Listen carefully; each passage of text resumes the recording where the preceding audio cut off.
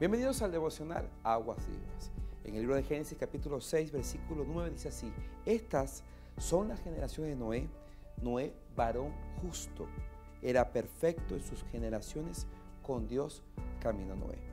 Una de las características para poder impactar nuestras generaciones es ser justo. Recuerda, el justo por la fe vivirá. Noé fue alguien que marcó la diferencia porque se atrevió a creer en Dios.